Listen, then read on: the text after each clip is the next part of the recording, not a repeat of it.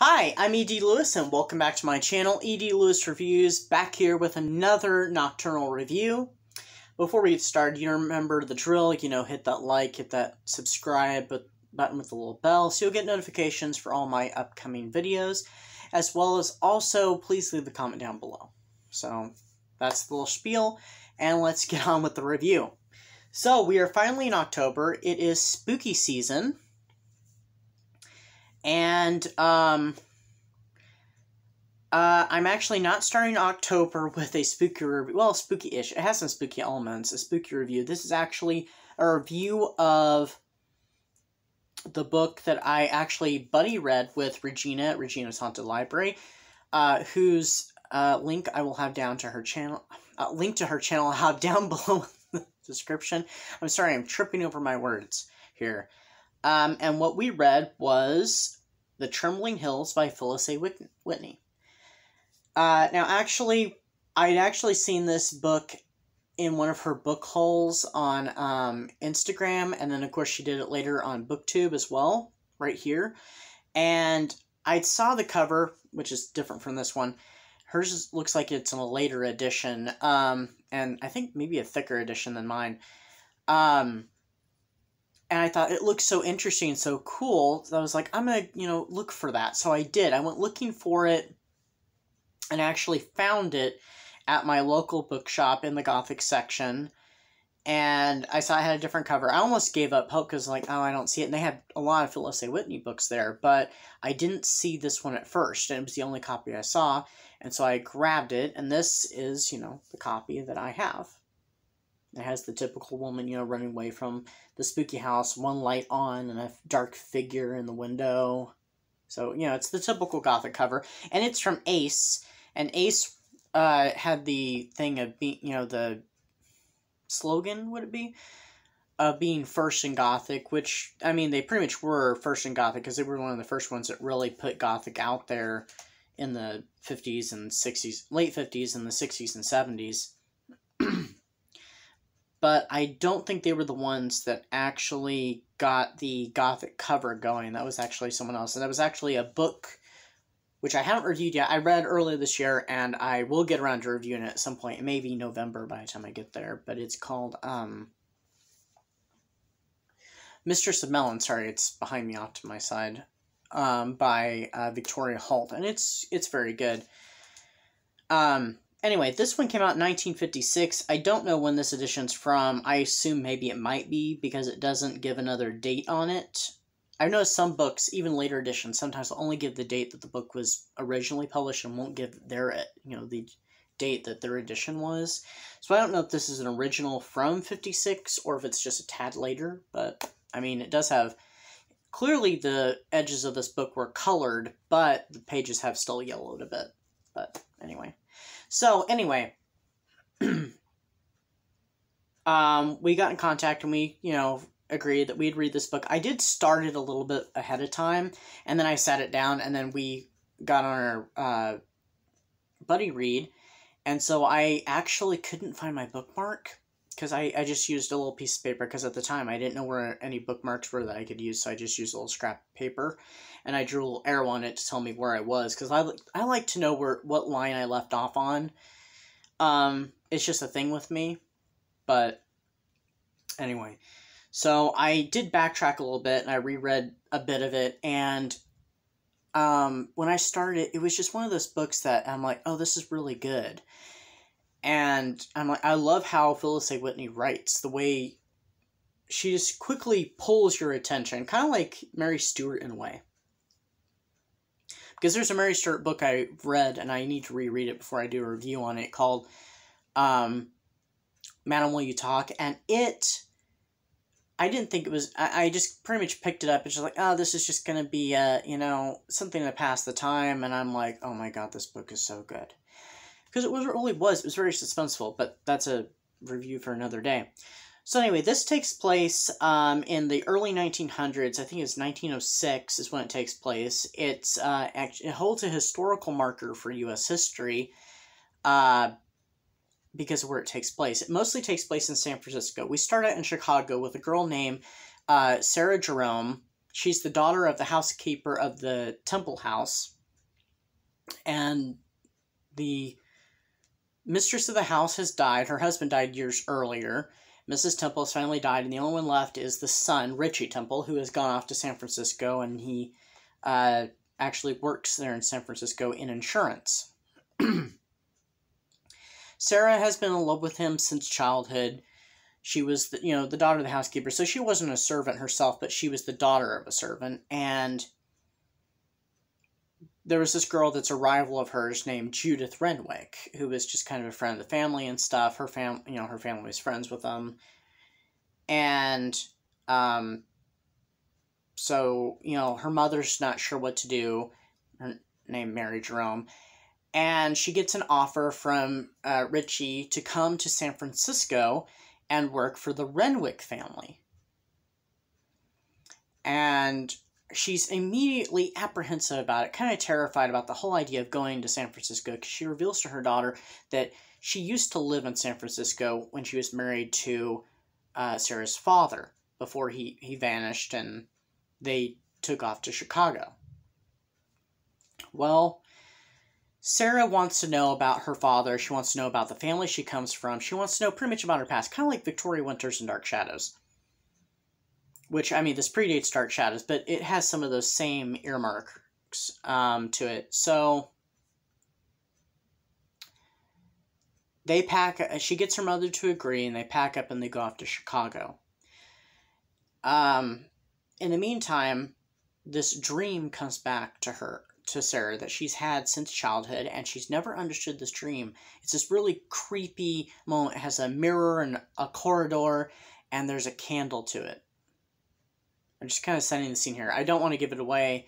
Um, but uh, so they end up going to Chicago and they stay in the Renwick house. And she has plans. She doesn't want to be a servant in the house. She wants to uh, be more of a modern woman and she wants to work in an office, be like a secretary and stuff. And so she makes plans for that. And she ends up staying in this tower. It used to be um, the little girl, um, Judith's baby sister's playroom, and she's still a little girl whose name I cannot remember off the top of my head. What is her name? Allison. Allison Renwick.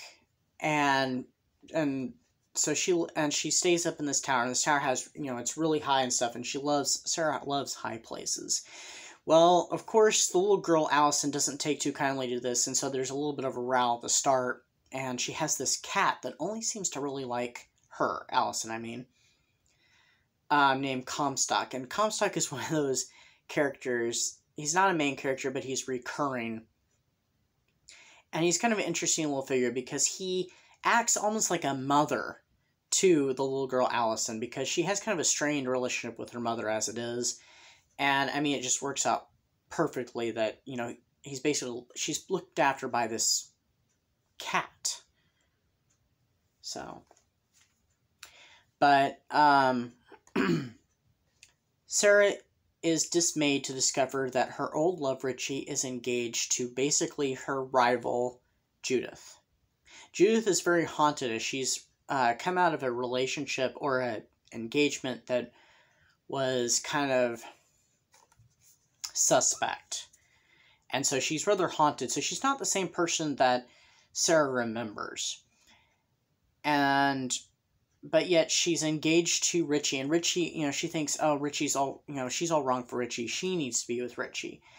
And there is a little bit of this flare of uh, you know, he still cares about her and stuff, yet he's engaged to this other woman who, you know, Sarah sees is all wrong for him, and, you know, of course, she only sees herself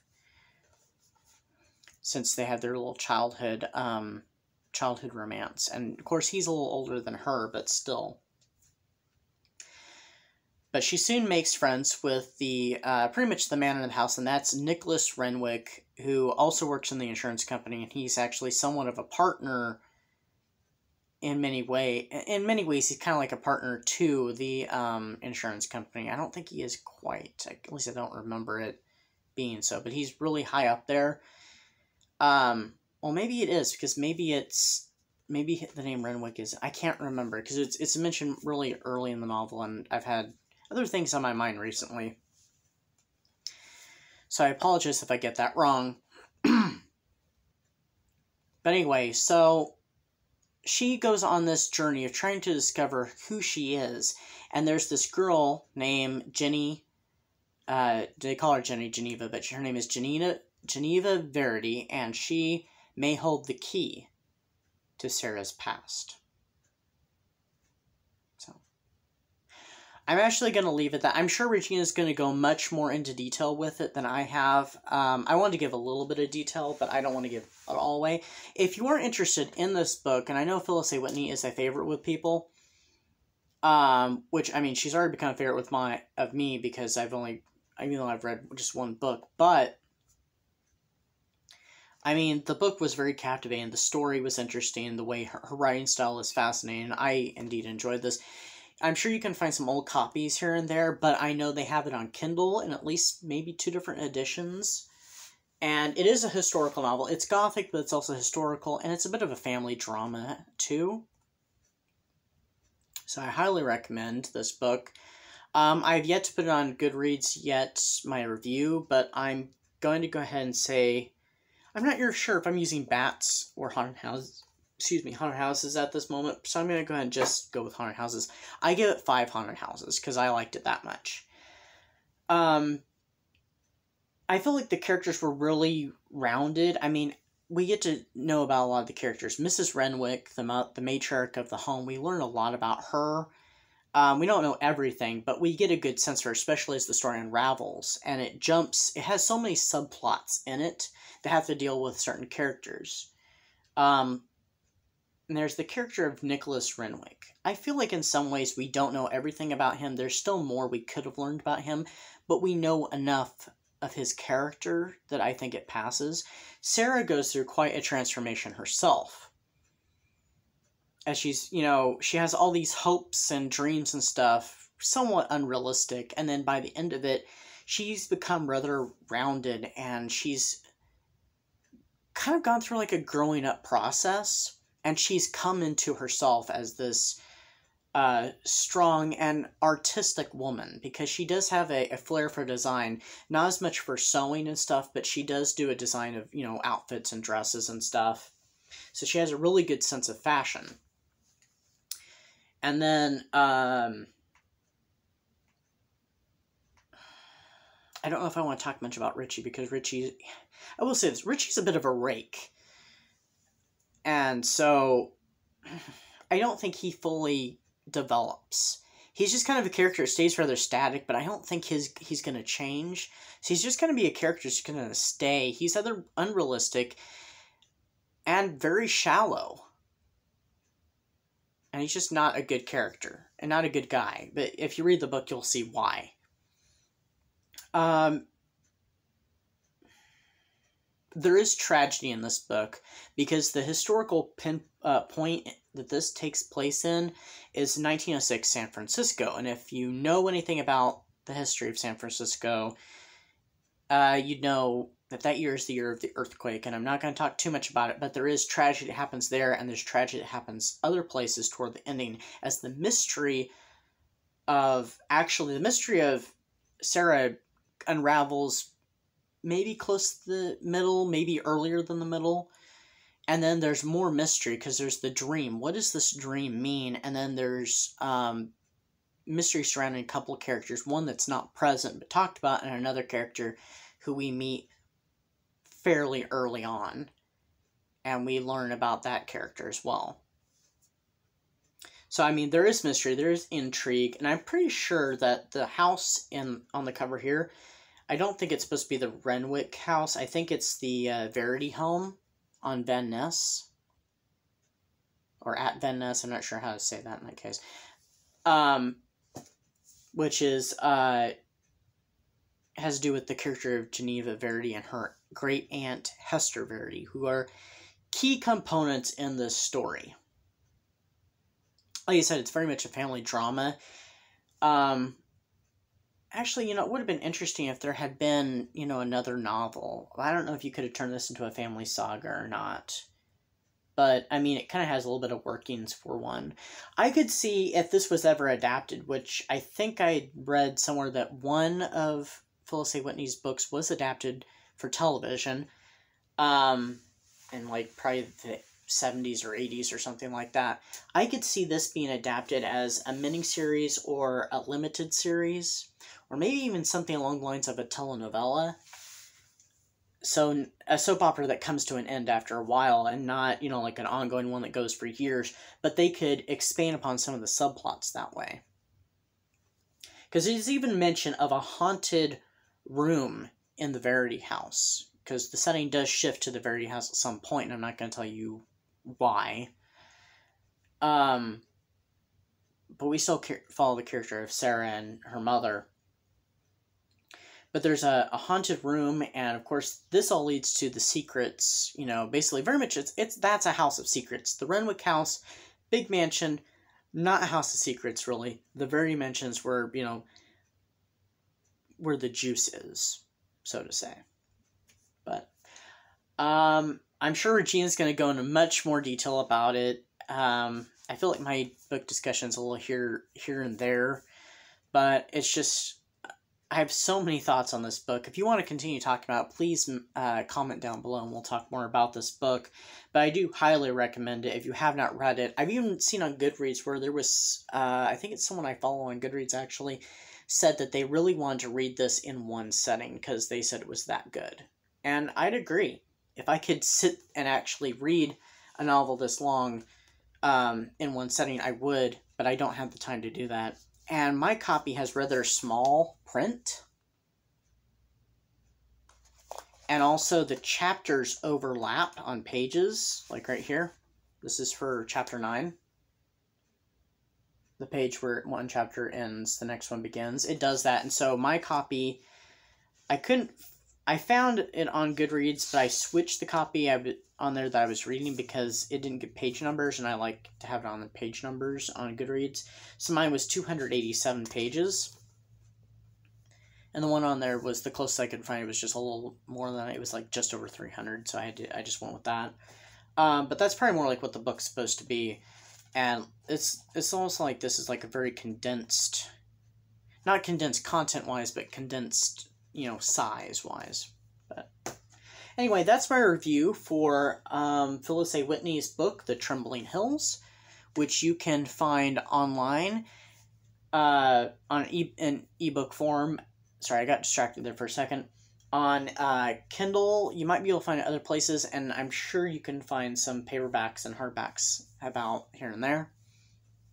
Do check this book out if you like suspense, historical, uh, historical romance, and also gothic and family drama, because this is very much, it fits into all those, and it is worth the read. So, and there is a little bit of spookiness. It's not horror, but since it has gothic, it, it is gothic, it does have those elements in it, so it has a little bit of spookiness, which is great for the season. If you're not one for horror novels, you would probably enjoy this one.